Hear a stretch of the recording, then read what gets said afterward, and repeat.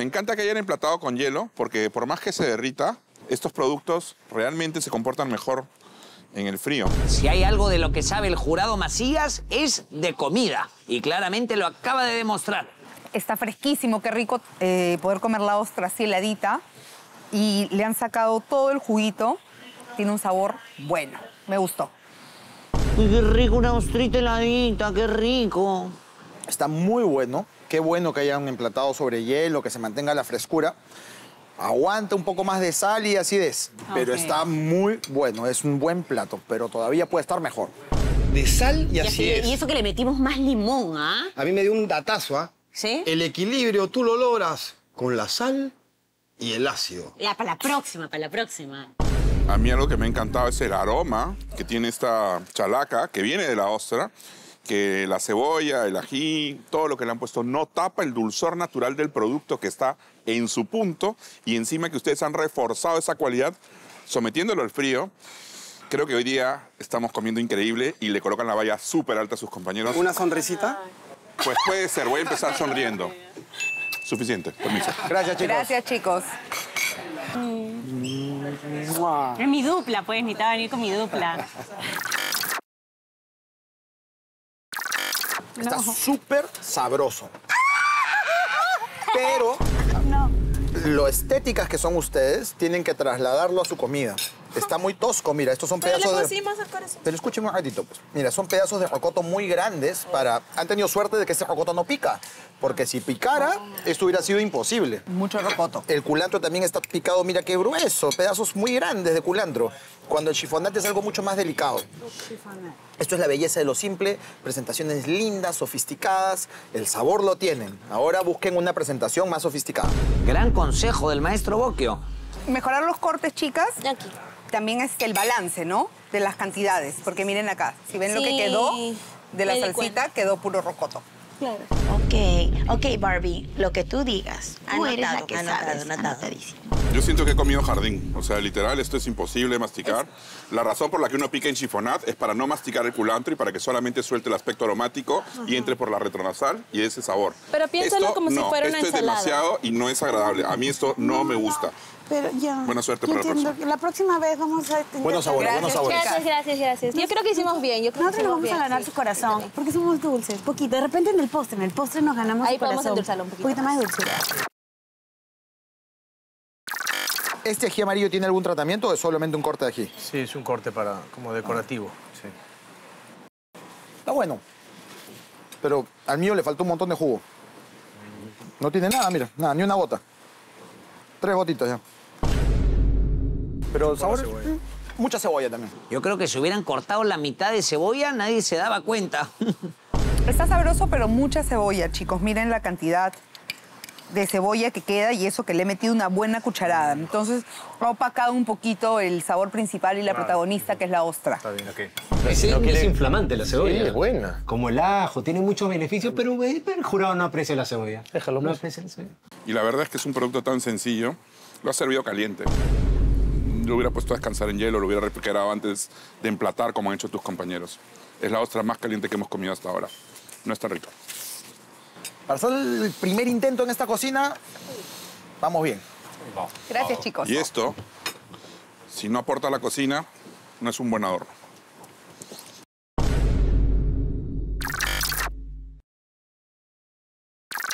Me ha gustado mucho el sabor. Uy, qué bien. Mucho. Gracias. Estamos vendiendo. Mira, vienen en una cajita. Están riquísimas. Se le van a caer las muelas. Tiene mucho tomate, pero funciona. Pero no tiene. Tiene ¿Cómo no va a tener tomate? Pero funcionó, no importa. ¿Cómo no va a Te tener dije, tomate? tenía ¿Qué es mucho, esto? pero funcionó. Es un tomate cortado en Está bien, chicos. Está bien. Ah, ya, gracias. Pasa. Está Pasa- bien. Es de lo pasas- mejor que comí hoy día. tampoco tiene. Uy, que lo Me mejor voy a que comer comí la hoy otra. día. ¡Qué bueno! Jurado Macías, ese era mía, jurado tacaño. Flaquito, Tal vez flaquito, me arrepienta flaquito. mañana. Eh, Hay que aprovechar eh, que estamos eh, comiendo eh, bien, porque nadie sabe lo que vamos a comer más tarde. Mi única queja, exceso de pimienta. Fuera de eso, buen balance. Gracias. Muchísimas gracias. Muy rico. Señor, este, se puede llevar la. es No. Gracias. Vamos a ver qué dice el jurado. Vamos a ver para quién va el beneficio. Acompáñenme. Bueno, a mí lo que me ha encantado es la calidad del producto. Eso y, a y mi voto va a ir por el participante. Hay dos que están bien, hay tres que están bien, dos que están mejor y uno que para mí es el que más ha entendido el lugar de la chalaca en un producto tan noble. Es decir, sazona, saboriza, todo, pero la ostra brilla. Entonces mi voto va a ir por ahí. Cuando el producto es tan bueno, es más fácil hacerlo bien que hacerlo mal, ¿no? Casi hay que tener talento para malograr algo que es suficientemente bueno. Y en este caso, para mí, hay. Todos me han parecido de aceptables hacia buenos. Hay dos que me han gustado más y de esos dos, en uno encuentro ese criollismo de, del de la chalaca. En el otro lo encuentro buenazo, pero limpio, mucho más limpio. Sí, uno tiene el sabor un poquito más delicado, ¿no? Que tal vez se acerca más a un plato de ostras solas, pero encuentro más sabroso el de dos participantes. Me voy a inclinar por este. Bueno, entonces está más o menos claro, dos a uno. Sí. Bueno, señores, antes de conocer el nombre de la dupla ganadora, dupla que tal y como les he adelantado al principio del programa, ganará un beneficio que les ahorrará muchísimo tiempo, déjenme hablarles del beneficio, señores. En primer lugar, como hoy día es el primer día y queremos que ustedes prosperen, que sean felices, que sigan avanzando en esta competencia y sobre todo que no se vayan a casa con una sensación de derrota, les vamos a dar la receta, señores. Que les vamos a dar la receta solamente a una dupla. Una única dupla. La dupla que ha logrado preparar las mejores ostras esta noche va a tener la receta nada más. Empecemos a cocinar, señores. ¿Qué tendrá que hacer el resto? Jurado Macías, por favor. Miren, señores, hemos creado estas maravillosas vinchas. ¿Qué contienen estas vinchas? Pues hemos dividido la preparación del segundo plato de esta noche en tres partes. Cada dupla tendrá una parte de la receta, es decir, para poder cocinar deberán de trabajar en equipo y ver eh, cuál es la parte que, les toca a ustedes, cuál es la parte que tiene la otra dupla y cómo ustedes lograrán hacer la segunda receta de esta noche reconstruyendo la receta. Solamente hay un pequeño detallito, señores. Les vamos a quitar las libretas. Es decir, no podrán apuntar las recetas mirando las vinchas de los otros participantes, sino que van a tener que utilizarse entre ustedes para poder preparar el segundo plato de la noche. ¿Ha quedado claro? Sí. Tú tranquila, Dios. tú tranquila que Ay, la no, receta yo la hago sin receta. Todos los ingredientes los tenemos acá arriba. ¿Dónde arriba? En tu receta, pues ahí arriba. Pero Y todavía no ese es el nada. secreto de ¿Qué- qué todo. receta? ¿Tengo algo arriba? ¿No? ¿Qué? Muy bien, señores. Ahora sí, queridos jurados, por favor, díganos el nombre de la dupla que tendrá la receta el día de hoy. Con gusto, señor Peláez. Los ganadores del primer desafío de esta temporada del Gran Chef Famosos por Dos son...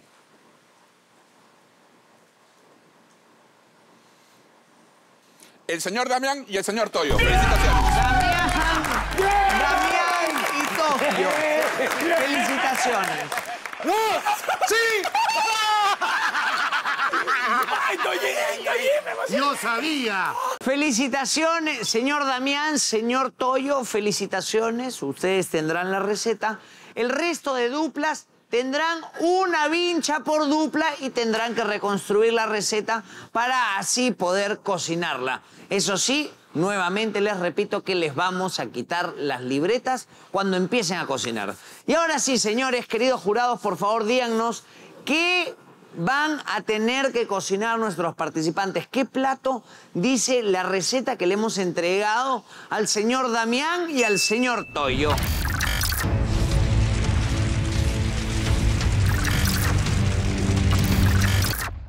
Ahora sí se van a tener que enfrentar con los fuegos, a diferencia del primer plato.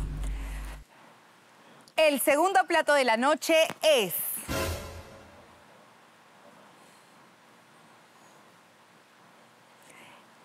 encebollado con puré de payares. Hígado encebollado con bravo. puré de payares. Yeah. Liver. I don't like liver. A mí tampoco, no soy tan fan del, Del hígado. Pero sí me gusta el arroz.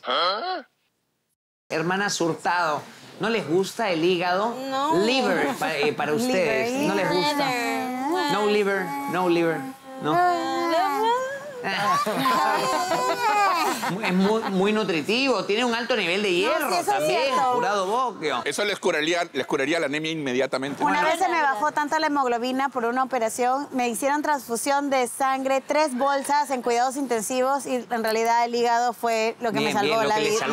la. El hígado le salvó la vida y el hígado podría seguir... eh, Salvándome en eh, competencia. Efectivamente, Así que efectivamente. vamos, entonces, hígado es. Además, aquí van a aprender los tips del jurado que les va a permitir hacer un hígado delicioso. Queridos jurados, ¿Qué, qué deberían de tomar en cuenta nuestros participantes para que esto les salga, no sé si delicioso, pero algo eh, Decente, que ustedes, decente. aunque sea, puedan comer, queridos jurados? Yo les voy a decir uno que me parece muy importante con el trabajo en el hígado. Al hígado le viene muy bien la acidez. La marinada que van a hacer es una marinada de ajo, ajipanca, orégano, vinagre eh, tinto y sillao. Buen golpe de vinagre. El vinagre y el hígado, muy buenos amigos. Con todos los animales que tienen hígado, funciona muy bien vinagre e hígado.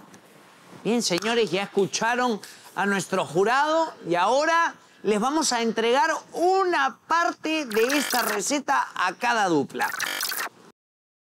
Ya, y acá y esto, ¿para cuándo tengo que alejar? O sea, Oye, yo no ya tengo me, cayó el viejazo. también. ¿ah? A ver, ups, a ver. Oye, ¿qué? No, pero, bueno, a ver. no vamos a leer la receta. No. La hacemos sin receta. ¿Sí? Sí.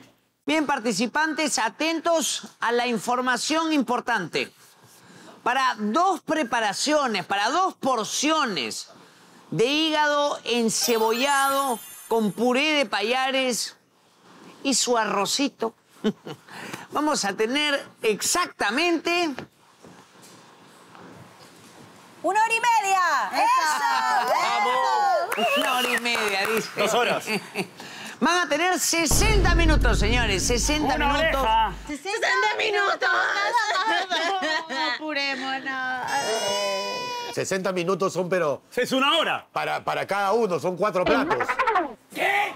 Eh, eh, él, no habla- él ha- no ha hablado en plural, él ha hablado en singular. Disculpe. Para el plato tienen 60 minutos. El Acá son- TDAH, el TDAH. No se preocupen, tranquilos. Es mi amigo, ya lo conozco hace 27 años. Tiempo más que de sobra para preparar este plato de una forma deliciosa que deleite los finísimos paladares de nuestros jurados a cuatro manos. Además, lo van a preparar. Así que esfuércense, señores. Ya saben que después de este plato, dos duplas se irán a su casa salvados y volverán en la siguiente ronda de esta competencia. Y dos duplas irán a la temida noche de sentencia. Buena suerte a todos, señores. Y ahora sí, ¿estamos listos? En sus marcas, listos. ¡A cocinar! ¿Qué tengo yo? ¿Qué tengo? ¿Qué me tocó? Los ingredientes. ¡Esto! Yo tengo los ingredientes, sí. señores, así que me van a tener que Espera, perseguir por todos espera. lados, ¿ah? El problema va a ser que yo- todo el mundo va a venir a sapear acá. Y no imp- pero yo hago así, pues, hago así, hago así. Ay, no, estoy buscando algo. Esto es Ah, no, esa es la receta, necesitas esto. Algo para el hígado. Uy, no. ¿Qué voy a hacer? ¿Cómo sienten que les va a ir a nuestros participantes? No es una receta complicada, tiene dos, dos preparaciones. El puré de payares pues, sería lo que primero que tendrían que marchar, porque es lo que se puede ir haciendo solo, casi hacen un aderezo, luego van los, los payares y, y ahí pues hay que esperar el tiempo de cocción, que serán unos 30 minutos si están bien hidratados.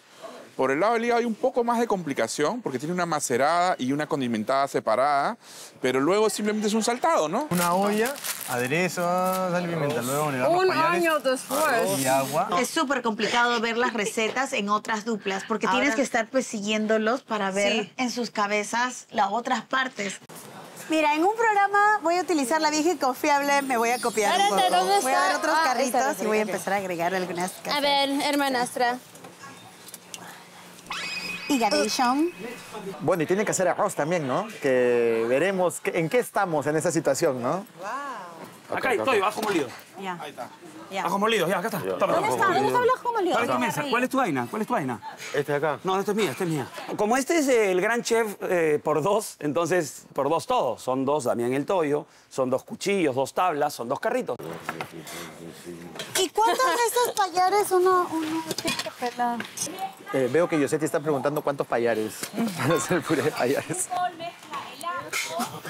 Yo volando mi para allá. Vamos, Yosetti. Todo eso. Todo eso. sí. Dímelo. Allá. El encebollado. En un bol mezcla el ajo, el ají panca, el orégano. Ay, ay, ay, a ver, a ver, este Joaquín, Joaquín, quédate quietito, mi amor, un Yo no rato. pude. Pero es- escúchame, escúchame, a ver, de- déjame leer. El ají panca, orégano, vinagre, tinto y el sillao. A comenzar con... A el comenzar, ají- a a comenzar con el Ahaitian Nation. Ah, verdad, hay que pelarlo. ¿No? Ok, espérate. Pero había ajo molido. ¿O tú quieres pelar? Ya no. You're so smart. ¿Pero sabes hacer con ajo molido? No. Entonces hazlo con el ajo normal, pues ya no. Hazlo como tú sabes, mejor no me meto. En realidad, no confío mucho el ají molido. Ajo. Ajo, perdón, ajo molido. Cuidado te cortes. ¡Ay! Cuidado con la uña. Yo puedo.